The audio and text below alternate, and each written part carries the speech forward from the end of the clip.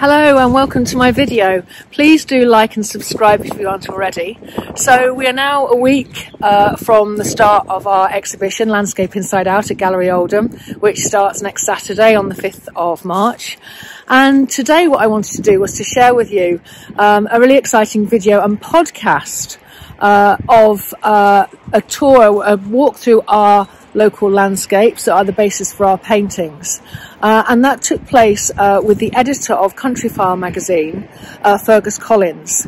And uh, what we want to do, in the, what I will do in the notes, is to share with you the links to that podcast so that you can listen to it. Of us, we basically we went on a walk through the landscapes, through all of the different landscapes, the the moors, uh, the woods, and the valleys between. And then we took Fergus back to the studios to share with him the paintings. So we walked from the landscapes into our paintings. Uh, and the link to that podcast is in, is in the notes, as I say. But what we want to do, to, what I want to do today to share with you is the actual video uh, that I footage that I actually took um, prior to uh, the podcast being uh, being recorded, and it was almost like a recce through the landscapes, if you like, uh, for us. And so I want to take you on that walk so that you can see the landscapes of our paintings. Not that you're not familiar with them if you've been following me for a while. And we take uh, Fergus on that tour, on that loop walk uh, as you will see in the video. And if you then go to the notes and the link, you will hear us talking to Fergus as we walk that same path. And then he comes back to the studios with us to look at the paintings. So I hope you enjoy the video and I hope that you enjoy the podcast. Get yourself a cup of tea or a cup of coffee, put your feet up and uh, yeah, I just hope you enjoy it. Let me know how you go. Okay, so here is this wonderful vista without my head in the way. Uh, the wonderful Dovestones in the distance, Noon Sun Hill, all of the moors over there,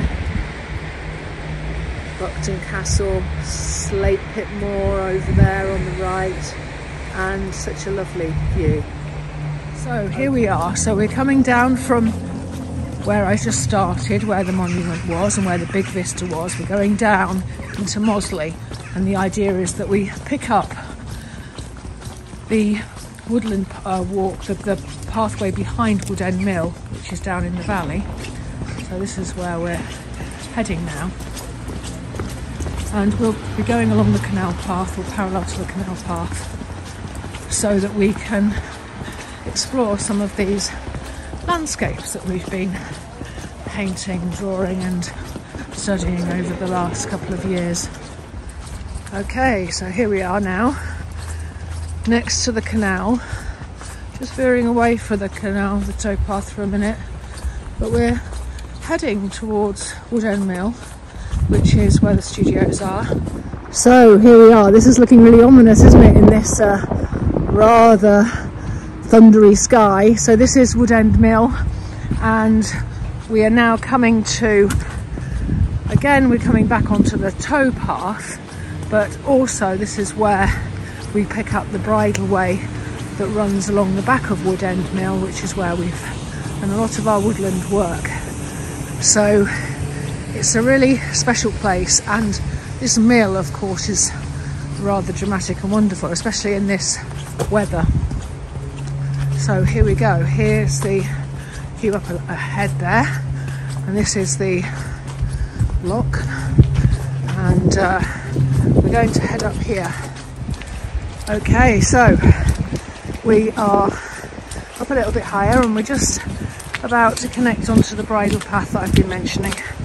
So this is, it's been quite wet recently, so it's quite wet underfoot, so you can probably hear the splatters and also the river Tame under, underneath or below us. So I'm just going to walk on a little bit more.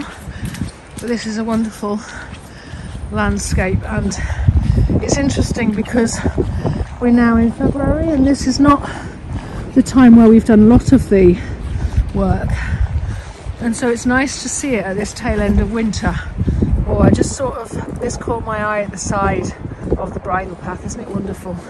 And these colours and these blues sort of aqua bluey greeny colours are so gorgeous So, and, and they kind of appear in my paintings and their colours I try and replicate. So just thought I'd catch, catch you with that. And, and on we go.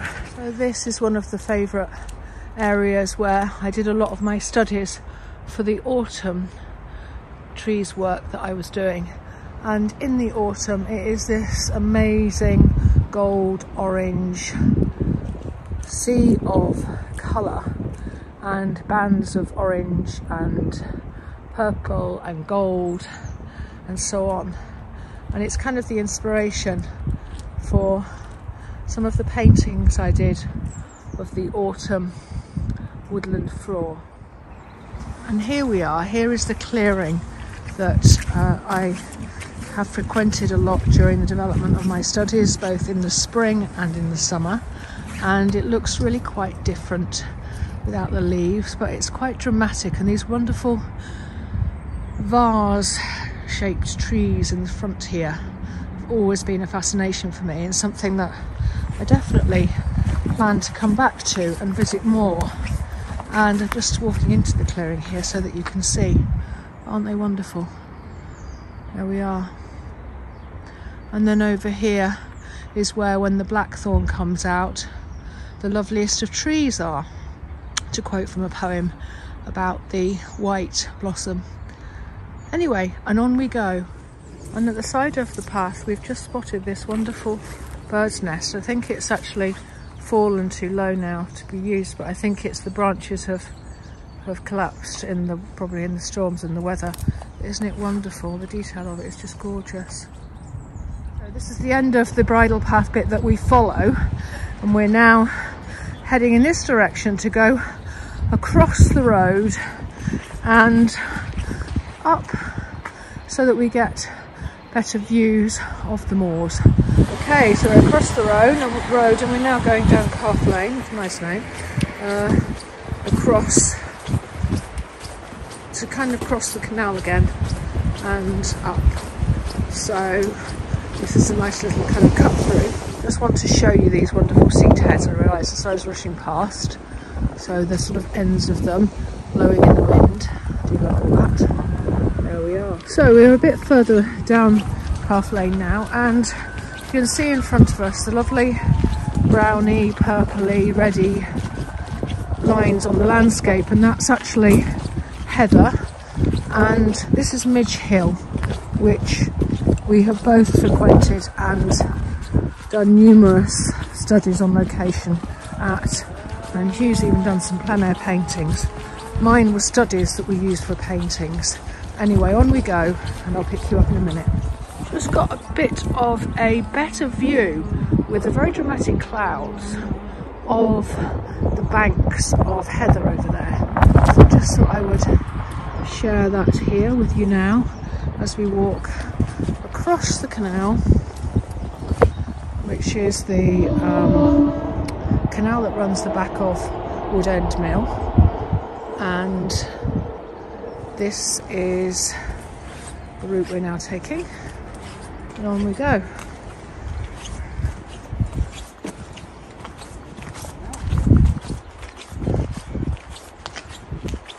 The canal, by the way, which momentarily escaped my memory, was the uh, Huddersfield Canal, Narrow Canal.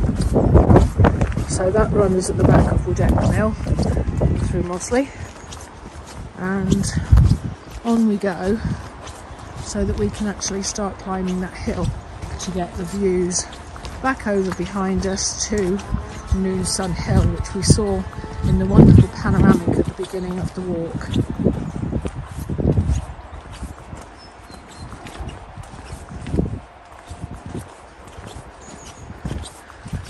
Those of you that know my work will know that these stone walls are very close to my heart and all of these wires and lines are the brambles and plants that scramble over. And I just think this is a stunning combination of organic and inorganic materials and I love this. And I have a group of paintings in my forthcoming exhibition Landscape Inside Out about the walls and what forms actually the lines in the landscape which are the boundaries of the fields and the paths and we're just walking beside one now and you see the lovely green moss blowing on them.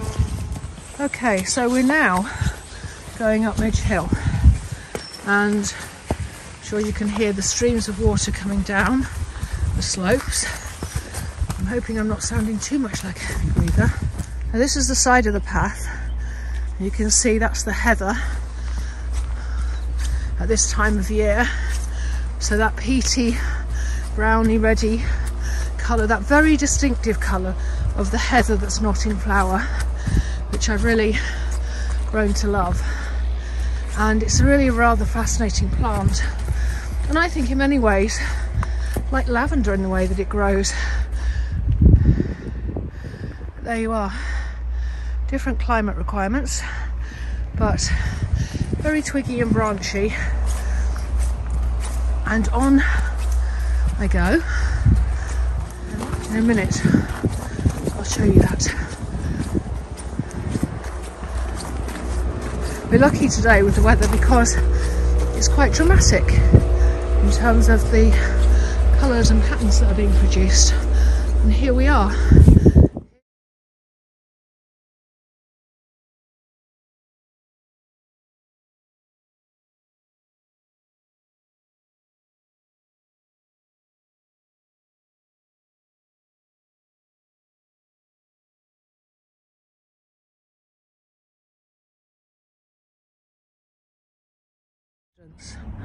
And we are heading now down this path. Okay, so here I am again on the path with the moors in the background, Dovestones, it's starting to rain, very grey now.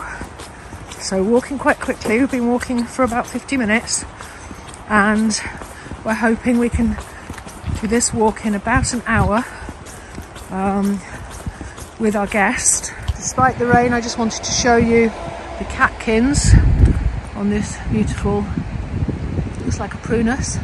And then you can see the river here at the side. And it's actually quite dramatic at this part in the river because there's a drop. So it's rushing down that drop. Here we are, here's the drop that I was mentioning to you. Love that. With that sound and rush of water and look at it.